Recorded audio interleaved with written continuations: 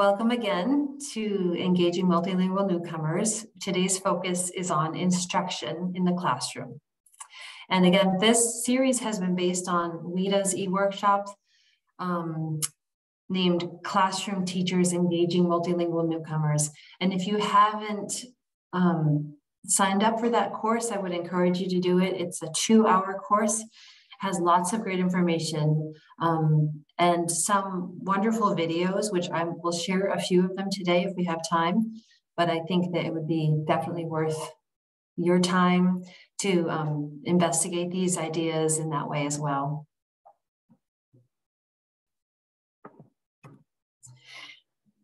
Just revisiting some of our terminology that we've talked about um, I'm not going to go into them, but just as a refresher, we've talked about multilingual learner, multilingual newcomers, acculturation, family, trauma, and students who have been identified as SLIFE or students with limited or interrupted formal education. Those are some of our areas of focus during this PLC. Today, my objective um, for this presentation is that we will develop a deeper understanding of key instructional practices in the areas of teacher actions, student actions, leveraging primary or home languages in the classroom, and supporting meaningful language use. I also hope that we'll be able to describe effective actions for surfacing student assets for greater engagement in instruction and assessment. So the pieces that we're going to put together today when we're talking about instruction for engagement of newcomers include gathering information, surfacing student assets, using language as meaning making, addressing all language domains within instruction, providing opportunities for language practice, and creating and maintaining high expectations. We're going to start by looking at the WIDA language domains. For most of you who have been in this field, you will remember that WIDA language domains were based on listening and speaking, reading and writing. With the new 2020 um, standards framework, that has been changed and evolved just a bit. WIDA now talks about interpretive modes and expressive modes. So interpretive modes include listening, reading, and viewing has been added. Expressive modes include speaking, writing, and representing. representing includes using facial expressions, gestures, and also artwork, painting, drawing, um, role playing, any of those would be ways to express information. Both of these modes are representative of how communication takes place, especially during language acquisition. Here's another way that WIDA represents these language domains. We have the listening and reading together under the interpretive domain with viewing included. And then we have writing and speaking under the expressive domain with representing included. So really we're maintaining the interpretive and expressive, but adding those larger pieces of viewing and representing so that students who perhaps aren't using words in English yet can still have an active role in the classroom.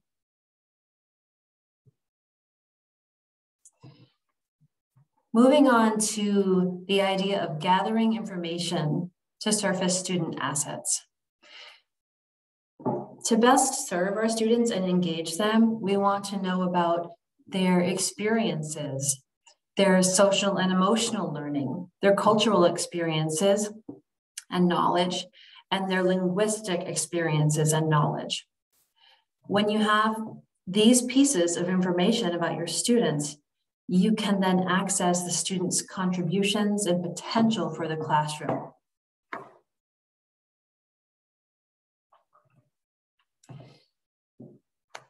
So what are some great ways to surface student assets? Well, we have something from the very beginning. When we do registration or intake, we can create intake questionnaires. Um, there is an example intake questionnaire on the DOE Multilingual Learner website. That is one example of what could be used. And I also just want to take a moment to, to just mention that some of the questions that are on that example might be quite sensitive for some families. So whenever you're doing a, um, an interview or questionnaire with a student or family, of course, you know, be sensitive, pay attention to body language. You may just not want to ask some things that you had hoped or planned to ask based on the family's reaction or um, comfort level. There's also um, asking students to write, tell, or draw their story. Parent interviews, you know, you may be doing parent teacher conferences, but for your parents of newcomers, you may want to use that opportunity for also learning about parents learning um, what their views are about their students learning, um, anything that they could offer to help you plan instruction for that for that student.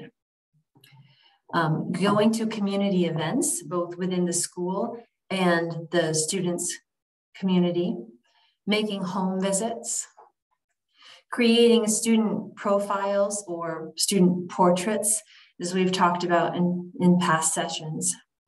And then making time in your class for icebreakers and get to know you activities and games. Sometimes it feels like we don't have time for that, but even if you did it, you know, once a week in, a, in some kind of short way, you would have a chance to get to know your students in a new way.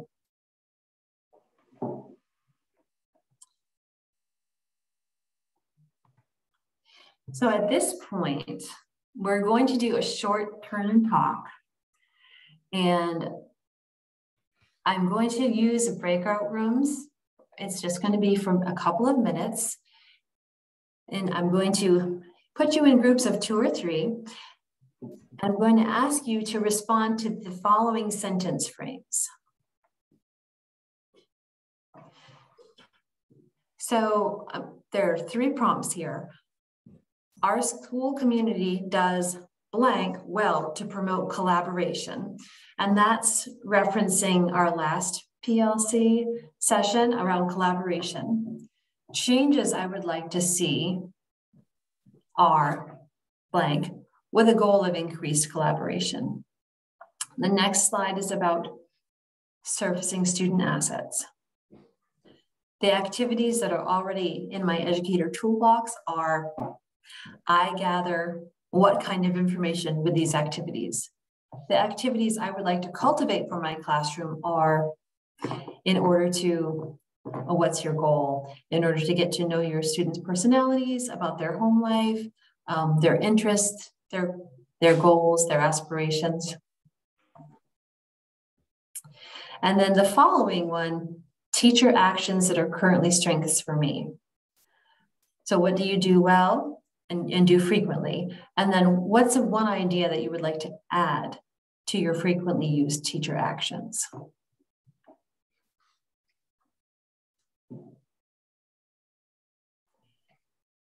I am going to stop sharing my screen for a moment.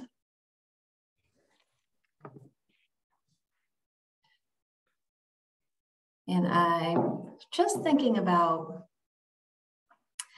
the best way to do this. So what I'll do is I will set up the breakout rooms and then I will share that screen again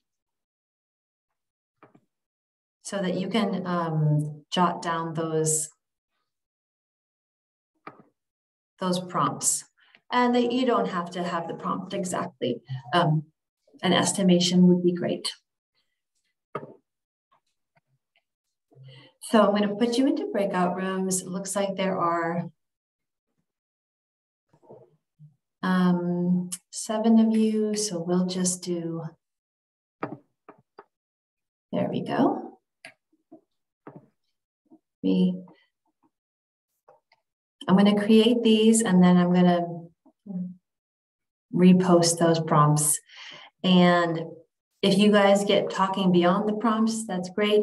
I'm going to give you um, four minutes in the breakout rooms. And I'll see you when you're back.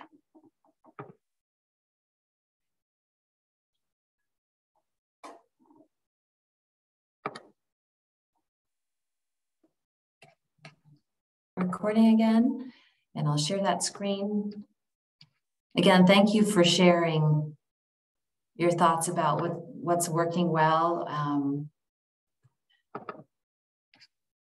here we go.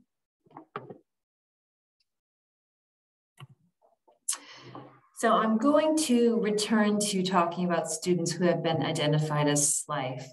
Um, we have talked a lot about this um, off and on throughout this PLC. I'm just going to touch on some of the main points again.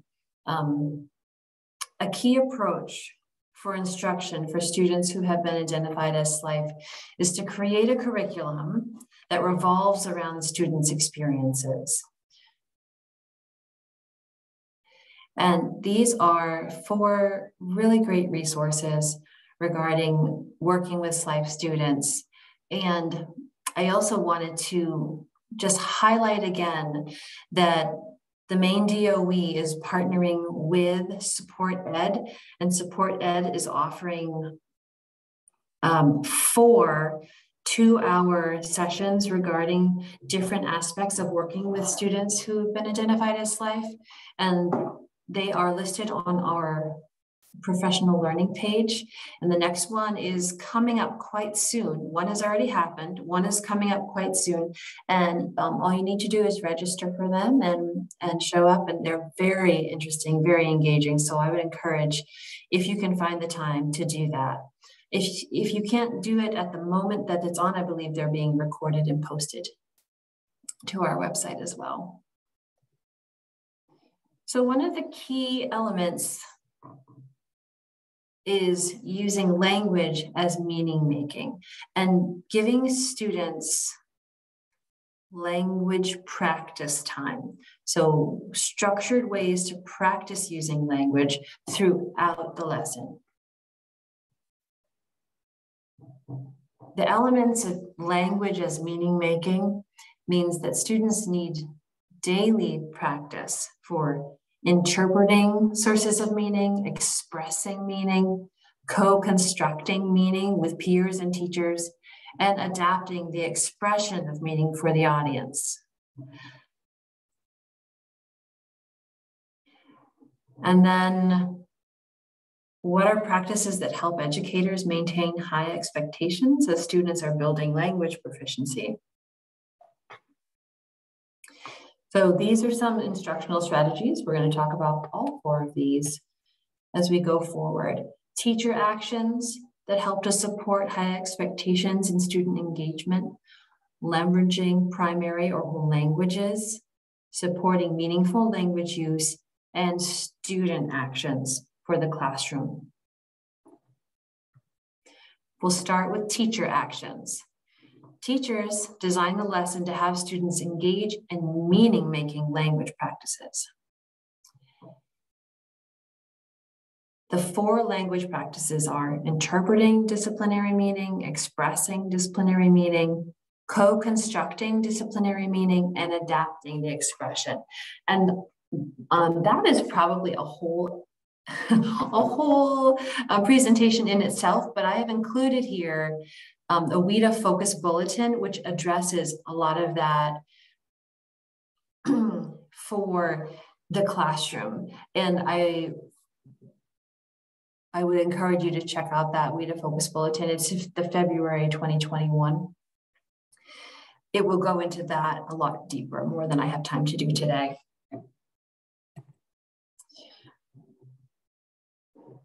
So when either creating um, a lesson plan or unit yourself, or if you're coaching another um, colleague through the steps for engaging students through your instructional planning, the one of the first steps is reviewing students' learning portraits or the student portraits that um, you may have created. And we've talked about how to do this.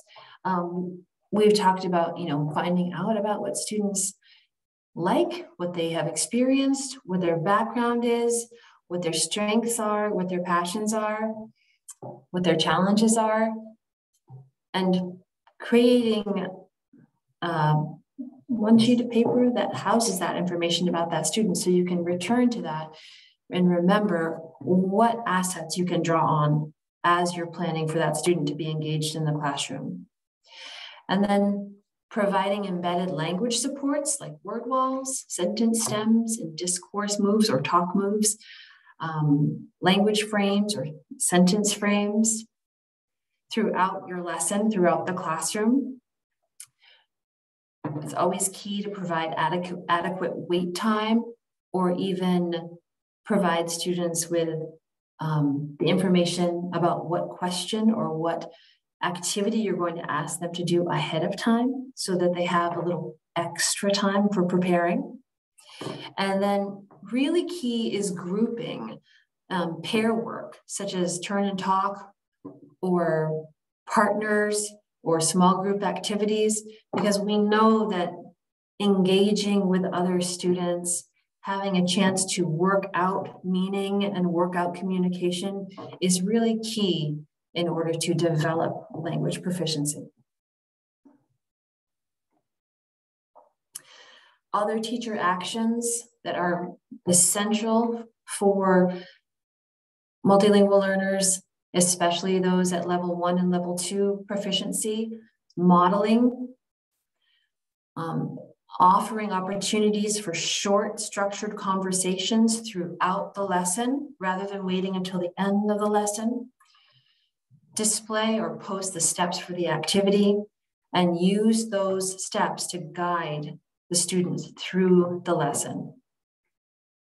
Activities that invite students to express verbally and non-verbally so that each level of student has a way to join in and contribute. And then crafted questions, which are meant to engage the student at their level. So for a level one student, you might craft questions that really are yes or no, or um, WH questions, questions that could be answered non-verbally. That's one way of, of preparing for the, those students. Further teacher actions. And I, I keep coming back to this over and over again as I do site visits and observations the things, the items on the last slide and, and this slide really keep coming up. So creating consistent routines and expectations. The more students know what's going to happen and the routine of the classroom, the routine of the lessons, it allows students to take risks and join in, even if they're not quite sure how to do the activity, if they know the steps and they know what it looks like, and it's similar day after day, they will be ready to join in. Give immediate feedback with an opportunity for students to self-revise. Um, providing descriptive and actionable feedback is important. It helps build awareness, it helps the students to make decisions for their learning, and overall, it's a goal of more complex language use. Sometimes when we think about feedback with um, a multilingual learner or any language learner, we think of it as a corrective action. And I want to just be clear that I'm not promoting that as a corrective action, but more of like a chance for students to increase the complexity or the amount of language that they're using. We're not looking for perfection or even complete accuracy. We're looking for more language and more complex language as the goal. Okay, coming up, we're going to do another think, pair, share in breakout rooms. And there's two questions. And if you want to jot these down um, as I'm just introducing them, these will be what I ask you to share in your groups. which teacher actions are currently strengths for you? And which teacher actions would you like to focus on strengthening this year? And I will share those again once you're in your breakout rooms.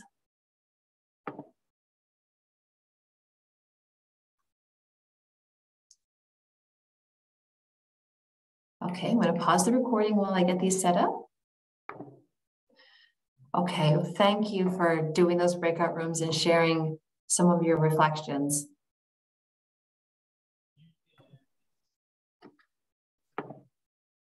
Oops, too many. So we're going to move on to the idea of leveraging primary languages. And I think the shift right now in thinking in the ESOL world is just recognizing how valuable a student's primary language is. It's instrumental in acquiring another language. Using a primary language allows children to communicate their feelings and ideas with their families, build trusting relationships, engage with the structure and purpose of language, and continue to develop their identity.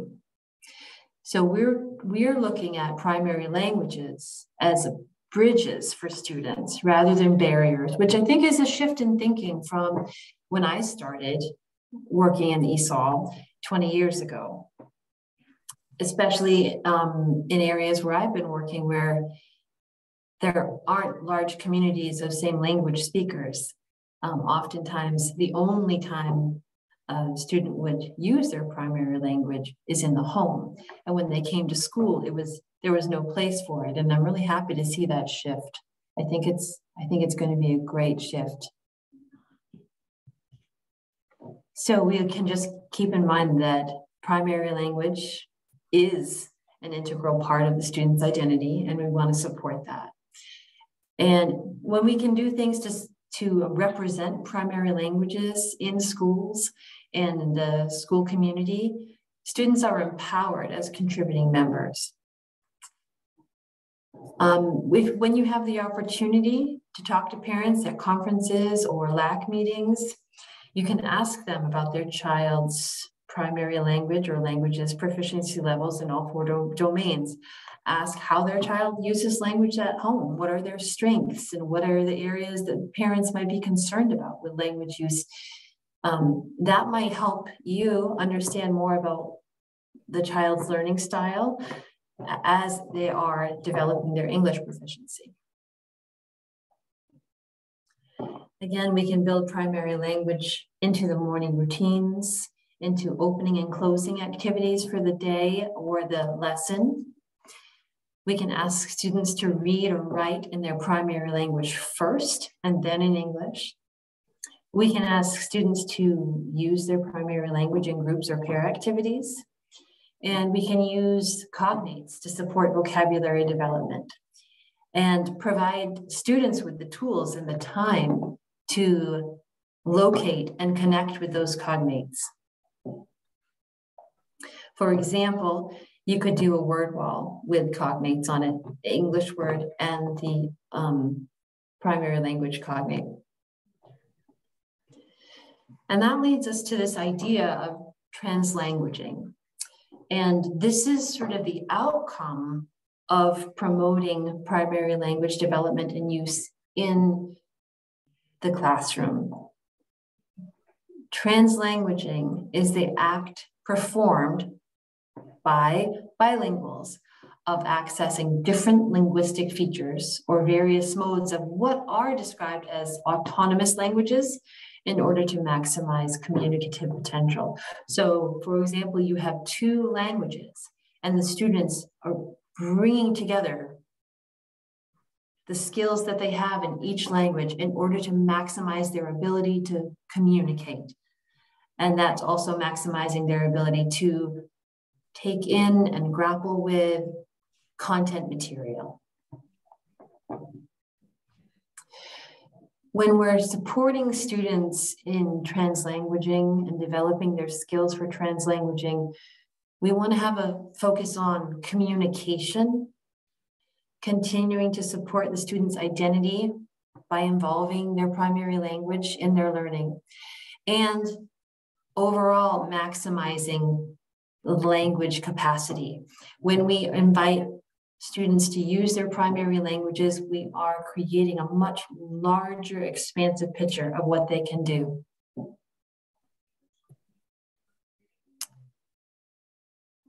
Moving on to supporting meaningful language use. We know that sensory, graphic, and interactive supports provide multilingual learners with pathways to construct meaning. We can embed graphic organizers and visual supports into our content area instruction. Clearly post tasks and directions, model the process and expectations, provide a finished example, provide sentence frames. These all give ways students, students ways to attach what they know to the unit or the lesson or the task at hand. Students need frequent and extended classroom interaction, both structured and open-ended, using both home or primary languages and English. And that's where we come back again to those student groupings, using pairs and small group work um, frequently throughout the lessons so the students have a way to engage with each other. So now for student actions, students can learn to use tools such as anchor charts, journals, word banks, language or, or sentence frames, photos, videos, physical objects, technology, picture books, vocabulary notebooks. These are all skills that students can develop to be active in the classroom. Students can engage with technology, um, student mentors, visuals with chunks of language, and mentor texts. Again, I think I've said this maybe five times already today, but working with and presenting with peers or groups is a wonderful way for students to engage with English and engage with content. And then again, guided opportunities to self-correct. And that is itself a skill to learn how to self-correct. So that's an action that students can take.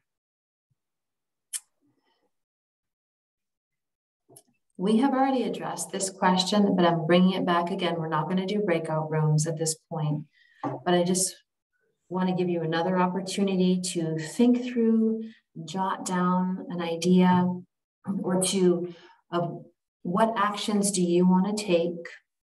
It might just be one simple activity that you want to try, or it might be an overarching theme that you want to engage with.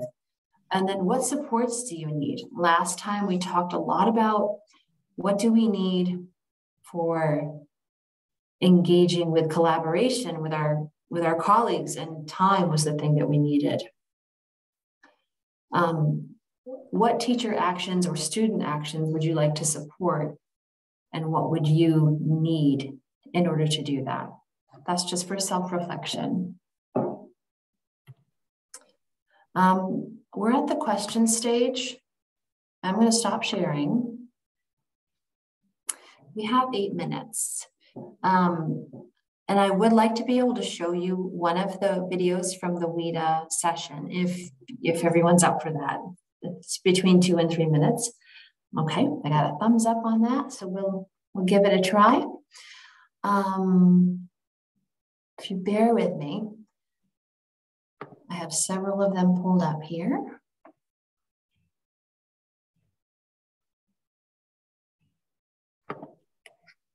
Hmm, that's not it. This is, I'm gonna, I'll, I will share this one.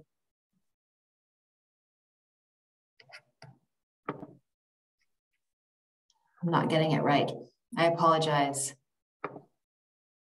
It's trying to share two things at once, not working for me. Okay. Um, here we go. Um, if this video is not playing nicely for you, if you would just unmute and let me know and I'll go back and share it in a different way.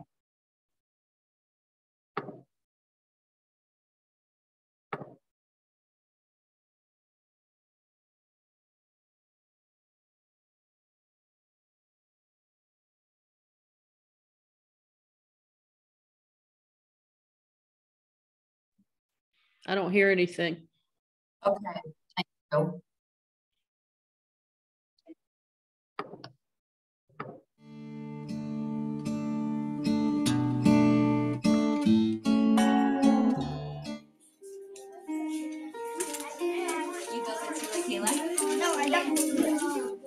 my number one job, I think, is to learn who my students are. I do that in a couple different ways, one of which is um, home visits. I think that's really important to get um, to know my students and their families and what funds of knowledge they can bring to the classroom, particularly with my newcomers.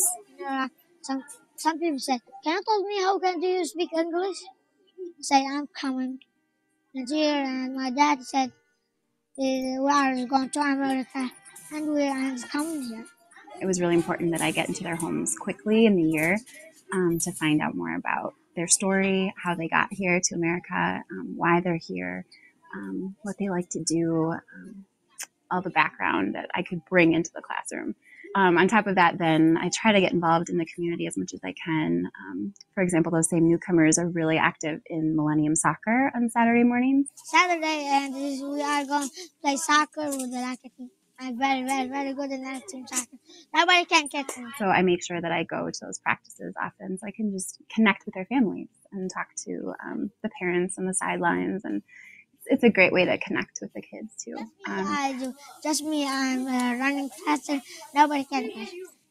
That, that I have four I go is that I'm not goalie because I two goals and I was I do that we were studying um, orangutans in Borneo and rainforest. And, and that came because a couple of our students are really passionate about rainforests and learning about deforestation and things like that. So um, finding out what they care about kind of leads to the lesson planning. Can we figure out how many orangutans will Armani see? All right, count out 18 orangutans. Ahmed, would you like to draw or build? I'm gonna draw it. You want to draw? I'm, sure. I, I want to draw the wheel. Okay, that's just a short and uh, video, and there are several of those in that um, course. I'm not going to play anymore because we're out of time. But I've um, there's there are some longer ones which I think are really inspirational and really show a lot of great different strategy use. And again, if you if you go through the course, you'll see them. We are just about out of time. Does anybody have anything they want me to address before we go? Everyone's happy. Okay. um, just going to check the chat to see if there's anything. No, no pressing Can you explain questions. how to access those videos? Oh yeah, absolutely. So um, you will need a WIDA login for like the WIDA dot Wisconsin. Um, if you don't have one, you can um, email them directly or call them. And then you go to the Grow tab and go to the e-learning options. And for Maine, there are, I believe, 10 courses that are free on that. And you you um, can you, you would want to choose this one which is classroom teachers engaging multilingual newcomers. That's the title and it, it goes over the same things we've gone over in this course, course which is so, social and emotional learning the um, importance of collaboration and then instructional strategies and it's two hours yeah awesome okay you. you're welcome um, shoot me an email if I can be of any support or help. And thank you so much for participating in this.